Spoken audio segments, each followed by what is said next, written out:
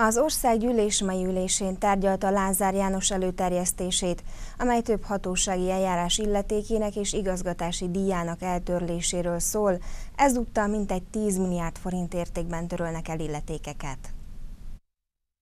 Lázár János expozéjában kifejtette, meggyőződésük szerint hazánk versenyképességenek növeléséhez, ahhoz, hogy Magyarország Európa egyik legversenyképesebb országa lehessen, érdemben járul hozzá az állam ügyintézésének állapota, minősége. Az állampolgárokra, vállalkozásokra kirott terhek azonban inkább versenyhátrányt, mint előnyt jelentenek. A miniszter szerint azt az érzést kellene erősíteni, hogy az állam szolgálja a polgárt, nem uralkodik rajta. Szeretném arra fölhívni, fölhívni a figyelmüket, hogy a kormányzások, tehát a 90 óta megvalósított kormányzások történetére nem jellemző módon szinte először egy díjcsökkentés előtt egy konzultációra került sor.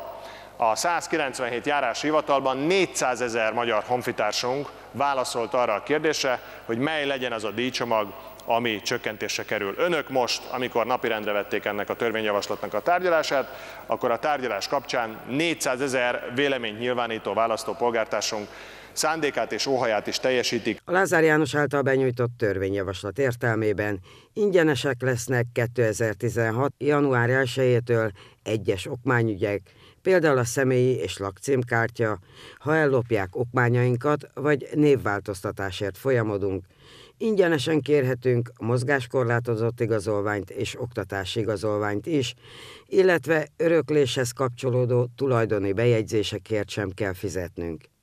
Évi négyszer ingyen adják ki az erkölcsi bizonyítványt is.